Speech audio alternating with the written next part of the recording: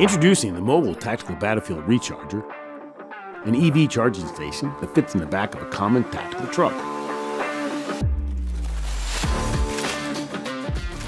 With five modes of operation, infantry service vehicles can now recharge on the move quickly and quietly. And redeploy to continue their mission. Learn more at enerconpower.com. Come visit us at booth 3348.